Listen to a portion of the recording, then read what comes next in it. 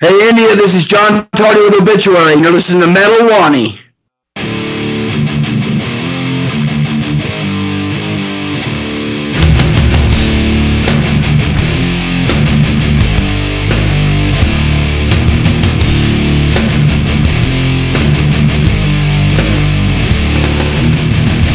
How are you doing, John? I can hear you good now. Yes, how's it going? It's going great. Uh, what about you? How's it going now? We're doing terrific. Wonderful. I know you guys, uh, you know, are working on the new album, and I'm very excited about that. And I think uh, you guys have finished uh, writing this sometime in November 2013. So, what can uh, obituary fans expect from this album? Um, I don't know. I can tell you we're really excited about it. Uh-huh. Um, we uh, it's all written, and we just been really rehearsing the, re, re, you know, just jamming it. Uh-huh. Uh, really getting familiar with the songs before we start recording. Mhm. And uh, we're a little behind schedule, but I think we're going to start recording as soon as we get back from that seventy thousand tons of metal cruise. So Right. So, uh, is the album yet to be recorded, or the writing has been completely done? And the writing is all done. We have not really recorded it. We have not recorded it yet, though. So Oh, um, we were hoping great. to get we were hoping to get started on that, but it just it just hasn't gotten ready yet. So, um, but uh, we'll get on that as soon as we get back from the cruise. So Ah, that's wonderful. Now, will it be having all the signature elements of obituary, or will we see the band dabbling in any new experiments and elements? uh, uh, no, I think what you're looking at is a pretty darn classic obituary sound album. Wow. Um, it's got some it's got some little different stuff here and there. Mhm. Um, it's been really cool because you know we got Terry Butler in the band, and he's you know he's on he's this is the first album he's doing with us. right. Uh, so it's cool to hear his input, and and when we you know when we bring him into the studio and songs we've been working on, where he gets to hear him for the first time. Uh, it's it's good to see his face and his reaction. And I know uh, and uh, Kenny's also in the band now, Yeah. and uh, he's just a longtime friend, and, and, and you know he's with us now. So it's good to see both their reactions live, you know, right as we play like a new part for them. Wow. And uh, there's been a lot of it. You know, they'll they'll make comments like you guys never did anything like that before, uh, and things like that. But they're just little subtle things here and there. But it's overall, it's going to be a very uh, classic sounding obituary record. That's awesome. Now, since Kenny Andrews and Terry Butler are part of the new, you know, the lineup, so of course there must be something which they're bringing, you know, uh, to the obituary sound, some sort of a creativity which probably you guys might not have done in the past. Um, well, they neither one of them really have done that much writing Mm-hmm. um, for this. Um, you know, I mean, Terry's had some input just because he's been here, Mhm. and you know, sometimes we all kind of we come to a point where it's like you know you can kind of do something a few different ways, and we just got his input on that. Right. So, um, it, you know, it really hasn't been you know a huge, huge difference, uh, but it's been nice to have the even those subtle differences in some of his Right. opinions. Um, and then you know, I, I really think that Kenny's going to be a nice dimension for us. Mhm. Um, you know, whereas whereas Alan was, you know, was was not technical at all, Mhm. and I think Ralph was probably a little bit too technical. Um, I think Kenny has a real nice mixture of of technical and you know you know a lot of bar kind of stuff to him. So right. I think it's going to fit real good for us. That's wonderful. Now, as always, Tardy Brothers, you know, surprise us with every album. So I'm sure you guys, you know, you and your brother would have written a lot of material for us, you know, to annihilate us.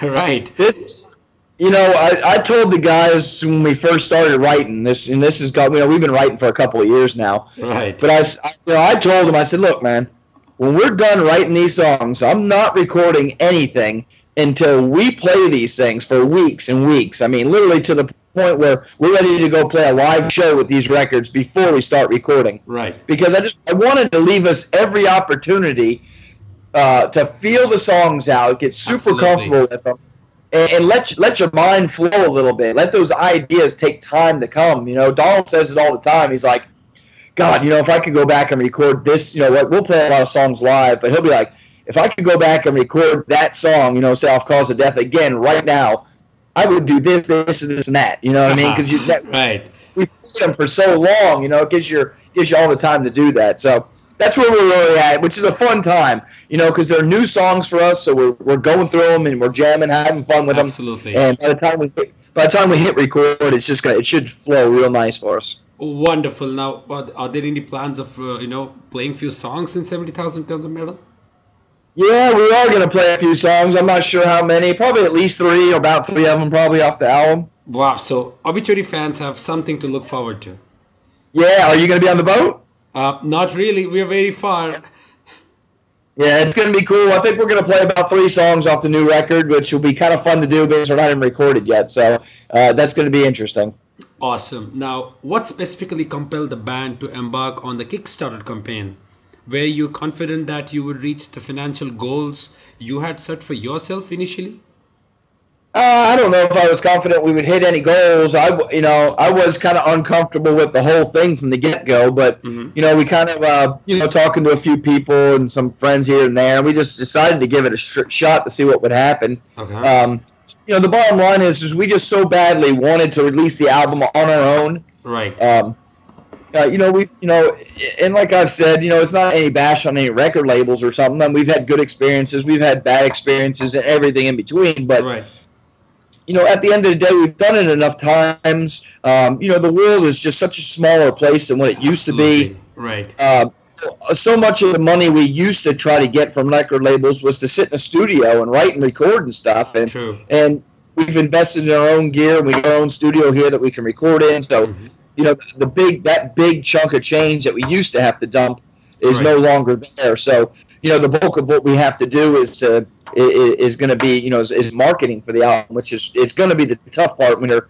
when you're a small you know if you want to call ourselves a label uh, right. is the marketing angle. But you know, I mean, so many kids are just in touch with us, so just even Facebook and Twitter and just our Absolutely. website, right, and, and stuff like that. That you know, I just we're just you know we're just we're going to give it a shot, good, bad, or indifferent. We're going to give it a shot and see see see what kind of trouble we get in. So does it mean that you know Obituary will eventually seek, uh, seek out a record label for distribution, or will this be most you know a wholly independent endeavor? It's gonna well, you know, it's gonna be done on our own label. Okay. Um, that's not you know that you still need some help. I mean, we you know you need someone to help you administer the re- record label. Right. I mean, you know we're gonna be we're gonna be on the road you know nearly every month next year, uh-huh. um, and so you know it's kind of hard sitting on the road and playing shows every night, and then being at home trying to be in touch with distributors and questions and problems and returns and things like that. So, right. you know, you definitely need someone to help you. Uh, but we're reaching out and we're getting those contacts. Mm-hmm. Uh, we're making you know putting a little team of people together to help us do it. Um, but we're trying to do as much as we can on our own, and or at least be in control of the people that we have with us that are you know helping us. So. That that's wonderful. Now, in light of the same, uh, would you do a Kickstarter campaign again in case uh, you know of a future album, uh, given it has worked so well for the band? Um, I don't know. It's uh, it's kind of become you know that you know this is a way to go for passionate musicians and bands trying to avoid the oddities of the music industry. Yeah, I mean it is, but you know, I mean at the end of the day, you know, when we hit the goals, I mean obviously the people that support us, that was just it was awesome. Right. Um, but you know, it's it's still now it's going to be a lot of work for us because there was about 900 people I think that wound up contributing one way or another. Mm-hmm. Um, so you know that's that's now 900 people we have to go through and and, and put stuff together for and send them out stuff from right. CD the digital downloads, the T-shirts, and stuff like that. So it's it's going to be a significant amount of work for us to put all that stuff together and get it all out to everybody. Um, uh, so I, you know, we'll see. I guess when it's all wrapped up and done. You know, I mean, the easy part was kind of throwing a campaign together and and and, and collecting money, but now you know to go ahead and fulfill all that. Right. Um, we have a significant amount of work to do. So uh, maybe when all that's over, I'll, I'll be able to better answer that question. yeah, that's right. Well, it, it kind of looks like you know you probably probably might have to, uh, let's say, approach a few people, or maybe you can do it on your own using social media because these days internet is, you know, it's too diverse. People actually. You know, with all these Kickstarter and things, uh, the things have become quite, uh, you know, good for the bands and good for the fans as well. Yeah, yeah, you know, I, you know, you, you really could kind of set something up, you know, yourself through your things. You know, may, may, may, may basically having people, you know, pre-order the album. Uh, right. Uh, you know, and throw a T-shirt or something in there to, just to get that early money come in to help you kind of start paying for your, you know, the stuff that's got to get done, you know, in the studio and the producers and and then uh, you know obviously you got to buy all these CDs to get them distributed in the whole nine yards. So um, there's a lot to be done, but uh, it, it, was it was it was a fun project. I'll tell you that it was it was great to see the number of people that got in there and helped us, and right. and people got excited about it. We did give a lot away a lot of good stuff. Um, there were some a lot of good packages and stuff like that, so it was Wonderful. cool. Oh, that's really awesome. Now, the new album, uh, you know, has the band written the album based on or you know surrounding any specific thematic concept? Uh, in the past, you have been famous for saying that you know obituary songs have no real message, and much of the lyrics are in fact just sounds that fit into the mood of a song, isn't it? uh, you know, man, it just, it, you know, I guess it seems the older I get, the, you know, the more I kind of think and write about certain things. But, uh-huh. um, you know, it's there's definitely no concept yet behind this album. Mm-hmm. Uh, uh, so I, you know, th- th- you know, there is no really going to be any general concept behind the album yet. I mean, we're still we're working with Andreas Marshall right now. Again, he's been working on some artwork and stuff for us. Wow. Um, you know, I, you know, I got a lot of lyrics still to write, kind of to fill in. You know, I know where everything's going and how it's going, but I, I once again, I, I left, I leave time for myself to just let the ideas flow and, right. and cool stuff. So, um, we still got some thinking to do on some lyrics and things like that, and then mm-hmm. that's usually when kind of song titles come out and stuff like that. So that that's awesome. Now talking about artwork, I mean, uh, you your albums are famous for their vivid and arcane artwork, almost Lovecraftian in a sense isn't it? Yeah. So uh, what can we expect this time? It's it's always like obituary artworks well, are wow. It's it's on big big level. Yeah, well, you know, it, it is really something that we've been fortunate with over the years, mm-hmm. um, uh, and and just you know some of our concepts and things that we come up with. You know, we work closely with artists to get kind of what we want to do out of it. Um, and you know, some of those con, you know, Andreas Marshall just does a pretty good job of, of bringing to life some of those things. And you know, metal kids love their artwork. You know, they love they love the cool T-shirts and things like that. And right. Uh, you know, in some in some ways, it's kind of a shame because you know there's not that many albums get pressed anymore. So you actually get to appreciate the big artwork. A lot of people mostly get just a digital download and they get a little thumbnail yeah. on their phone. So right. that's the extent of it. But uh, uh, it is important to us. You know, we like you know we like it to set the mood for us. We like it to be cool. You know, nothing too cheesy. Uh, you know, just we like very classic. You know, kind of detailed kind of stuff like that to go with right. it and um, you know, it makes good backdrops, especially at the end of the day. So. Oh, that's wonderful. Now, you have one of the most unique vocal styles in the extreme metal. Uh, this is for sure. Now, how did you come to develop this type of vocal style? Or, you know, did you take any time finding your voice?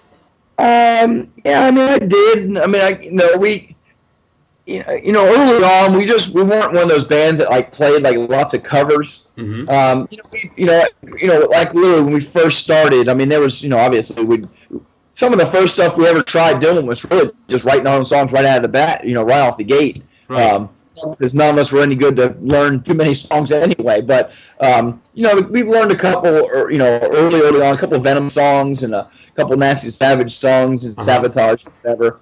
Um, so you know there was that transition period. You know, you know, even with all the band members of where we kind of wanted to go and and some of the stuff that we did. And I think you know a lot of the earlier stuff was maybe a little bit more nasty savage or right. a little more Savatage kind of stuff.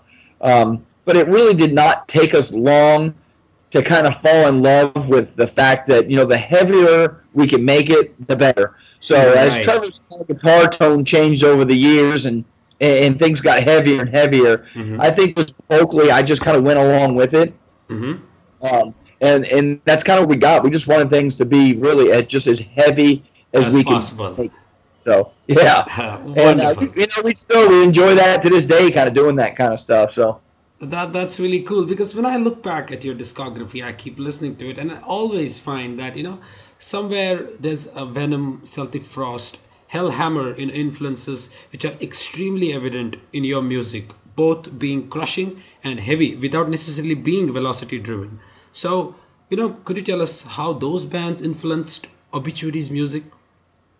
Yeah, I mean, there was no doubt. I mean, you know, uh, you know, er, you know, early on, only because we, you know, we'd ride bicycles up and down the street, and guys, Nasty Savage, would be playing in their garage. Mm-hmm. So that's kind of what got us started, and and they were heavy, um, you know, it, it, in that in their in their own, own style and stuff. Mm-hmm. But when we started hearing that early Hellhammer, uh, and then you know into the early Celtic Frost and right. stuff like that, we just you know, we really fell in love with just the, the, the, fact of just trying to make something as heavy as you can. Mm-hmm. Um, and, uh, you know, we just we never we just never went the, the route of trying to be as fast as we could. Mm-hmm. Um, it always just seemed like you know the faster you get, the thinner things start getting. You know, you right. can't can't slow it down, and you feel the one bass drum pumping in the chest and a snare drum that's cracking your head open when it's just going do da do da do da do da do da. Yeah, so. Right so and then, but you know, but you know, with that said, we, you know, we you, you like to get into those fast rhythms. You like to get things going and get the crowd ripped into a frenzy,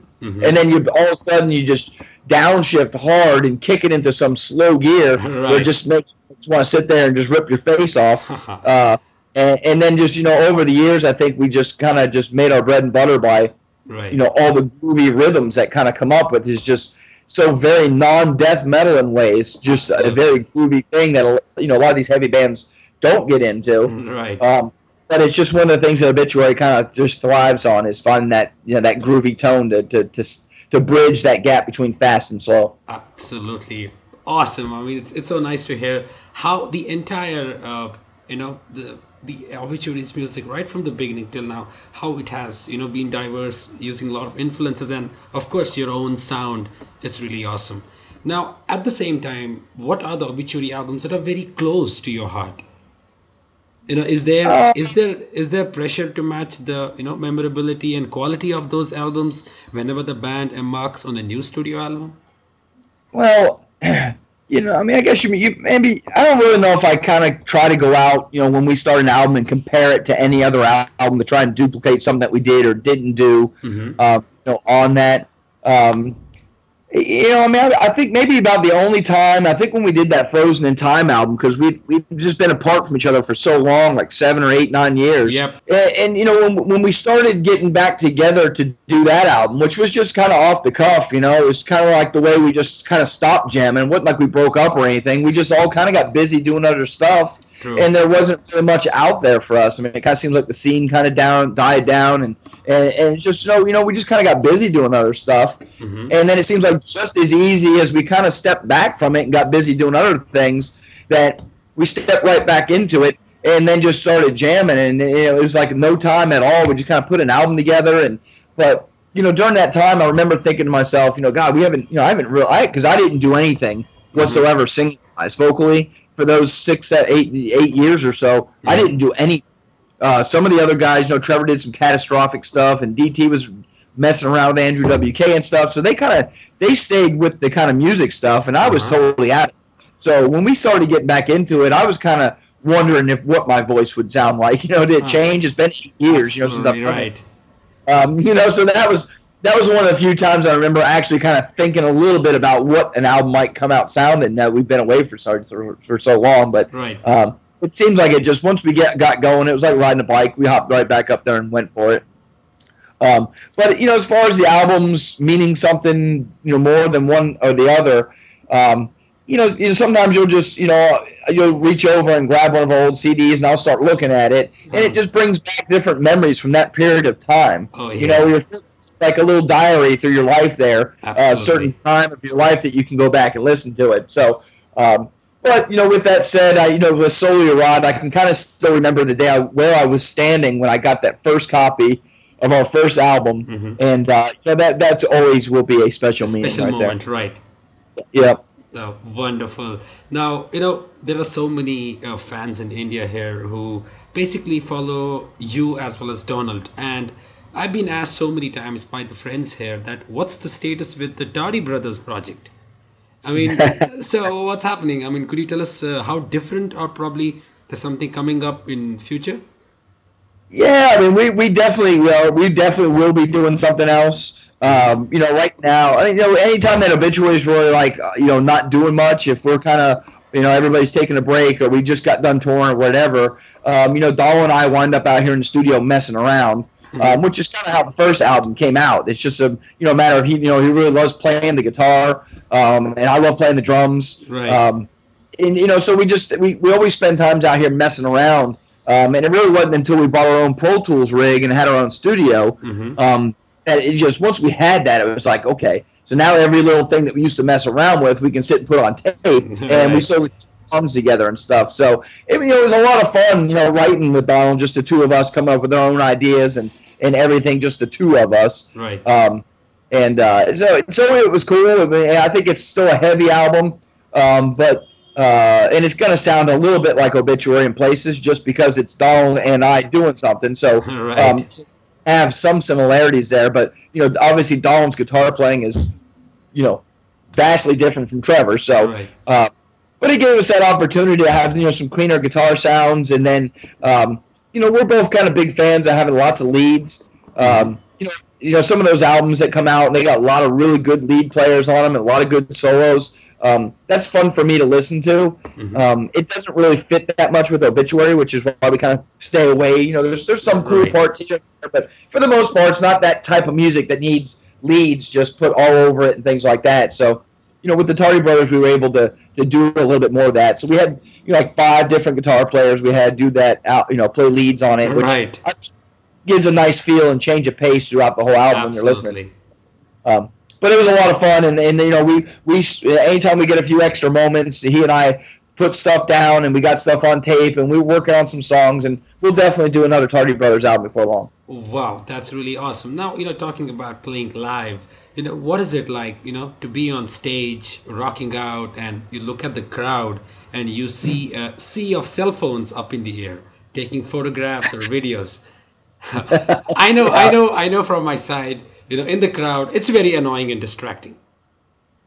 Yeah, I mean, I, I mean, I, I mean, I mean, a playing live, I think, is what Obituary is all about. I mean, we are a live band. Period. Our music, our music comes across and is just built and designed to be live. Period. Because you know, there's the vast majority of the people do not like our albums. You know what I mean? And I understand that. Not a lot of people like death metal to start with, and, and most people, you know, if you look at the actual, you know, the whole population.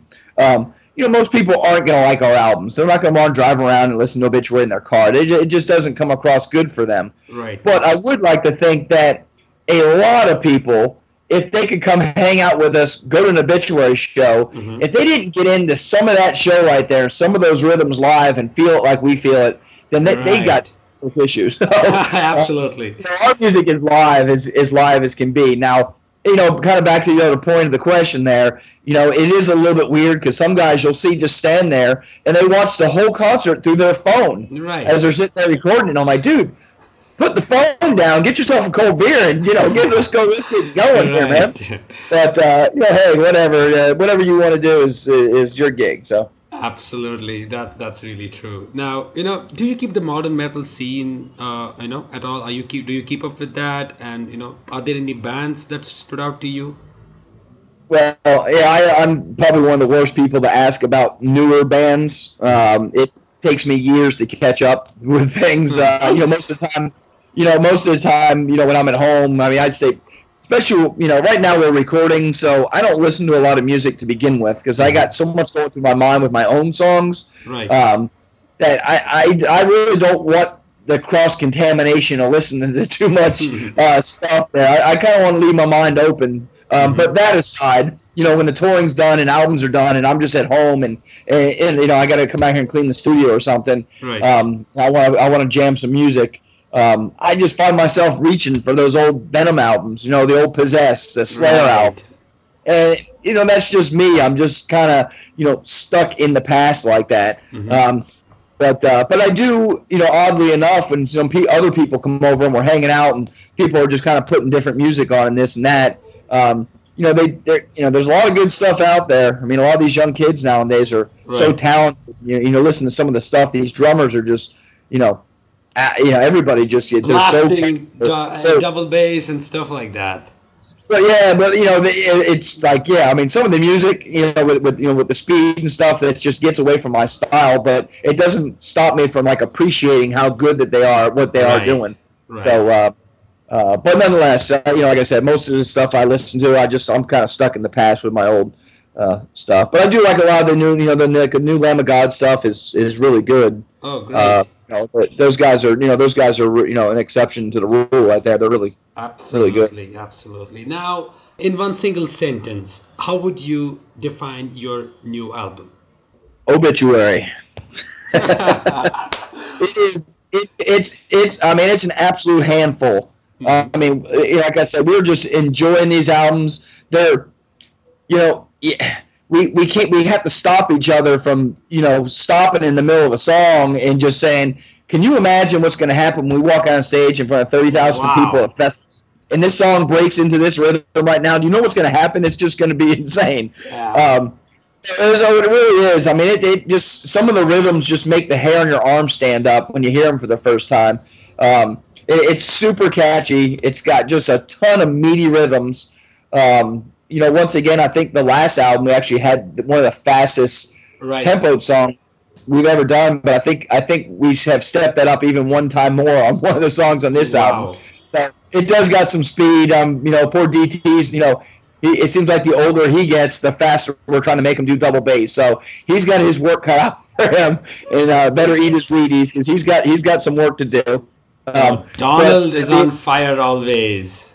DT. He's got his he's got his he's got his work cut out for him on this album. So Right. That's awesome. Have him running. Yeah. Oh, that's really awesome. My day starts with Redneck Stomp. I got to be honest with you. All right. That that's me. You know. I'll tell you something about that song. You know, we, we wrote that song, and uh, you know the guys would keep looking at me. I don't do like I don't like have a PA set up out here that I sing through or anything. When I start singing and stuff, I just kind of sing in the room. Mhm. Um, you know, I don't I don't really you know have anything to sing. And I can set the Pro Tools up and sing whatever, but I, I just don't even bother. I just sing out in the room while they're just jamming. But you know, so when when we start writing rhythms, you know, they're always looking at me to kind of sing. Well, you know, I kind of give them a thumbs up. I'm like, yes, I like that rhythm. Let's kind of do that as something I want to sing to.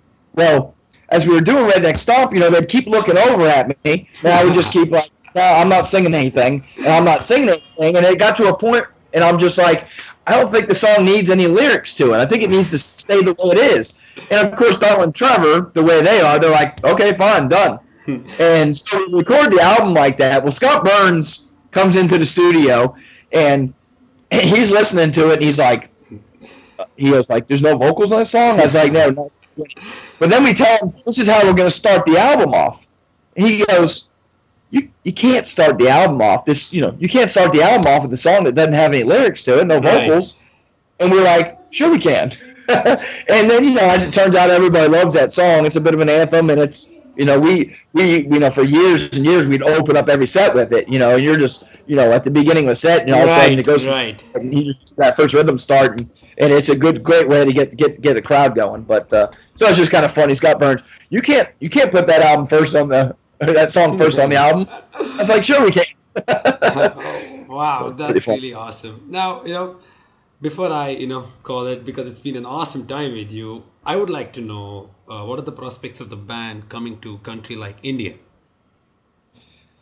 uh, you know i mean What's hey you know what? general, what's the general trend of concert or touring offers for a band like Obituary as far as the type of countries the band generally gets offers from?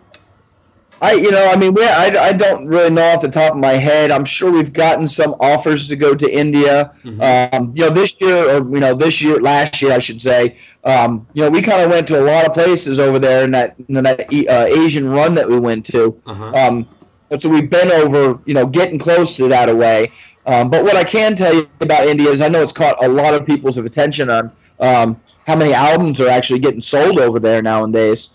Um, and I believe Lamb of God has gone there, right? Yes, two times. Because I know I remember specifically when uh, you know Donald talks to to, to, to uh, Chris some you know a lot of times on the phone or whatever, Mhm. and I know we specific, you know we asked him once we knew that they went there, uh, and they said they had a great time and and and it was really a good time for them. Um, so I know it's on our radar, things to do, and uh, you know I would I would love to get over there and play in India. Wonderful, John. Thank you so much for sparing your precious time. It's it's been an honor. Cool man, well I appreciate it, brother. Thank you, man.